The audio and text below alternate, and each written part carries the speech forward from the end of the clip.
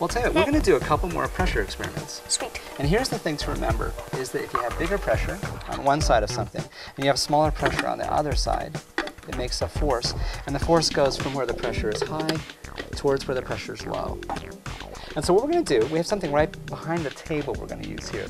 So I'm going to use the leaf blower to make some pressure. It's going to make extra pressure here. Oh, yeah. And I'm going to take that pressure, I'm going to put it into a bag, and the bag is underneath the board that Grace is standing on top of, so there'll be extra pressure underneath the board, uh-huh. and that's going to push. And Grace, whenever you're ready, go ahead and hit the power switch, Okay. and we'll make extra pressure underneath you, and let's see what happens. Oh yeah.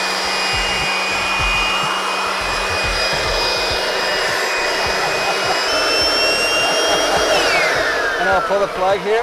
We'll let the air come back out again. Oh yeah. and we have two more things we want to do. Where do you think there are more air molecules? Down near the surface of the Earth or up high? Down. Down near the surface. What's going to pull them down? Gravity. Gravity. The gravity is pulling down, down, down. Down near the surface, there's a lot more molecules. So where is the pressure higher? Down here where there's lots of molecules or up above? Down, down. Down here, there's a lot more molecules, so there's a lot more pressure. And that's generally too, if you take something and you raise it up, the pressure is lower at the top than it is at the bottom. And we're gonna do a couple of experiments. First off, there's a bucket, and it's right behind you, Alice. I want you to go ahead and bring that over.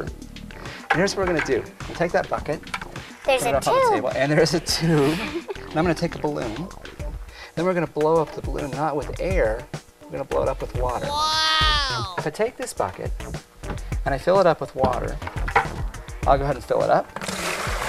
Sorry. There we go. And now, is it blowing up the balloon? A little tiny bit, isn't it? A little tiny bit. How about if I take this bucket and I raise it up? What's that do to the pressure? Makes it go down. Makes the pressure go. That pressure now at the bottom is higher. Pressure's lower up there. It's higher at the bottom. You can now hear it though. So I have higher pressure at the balloon. bottom. It is, and I'm blowing it up. And the way I made the difference in pressure that blew it up was I took this balloon, this bucket, and I raised it up in the air. And by raising up the bucket, I make the pressure higher at the bottom. And it's high enough Now if you to blow up the balloon.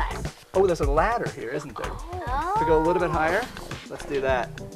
And I'm gonna go ahead and raise it up even higher. Okay. It's gonna fill up a lot faster. And now I have, oh yeah, a bigger difference in pressure, bigger difference in pressure. Oh my gosh.